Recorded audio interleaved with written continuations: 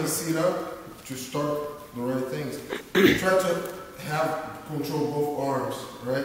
And every time I'm sitting up, I like to keep a good pressure pulling my opponent as I'm kind of pushing forward with my shin here. So I have like constant pressure here on, on his, on my grips here. So I push back and make enough distance so I can sit up like with no feeling confident, right?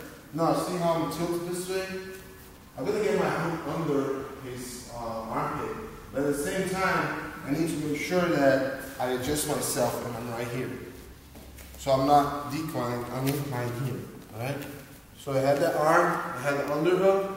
Now, a lot of people do this defense getting the underhook.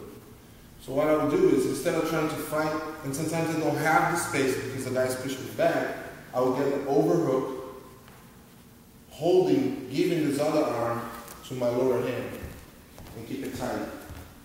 Okay? Now what I'll do is, my leg that is hooking him will kick him up in that way, and my other leg on this side here, I will kick his knee by his kneecap. So be pushing this knee back and kicking this leg up. Over here.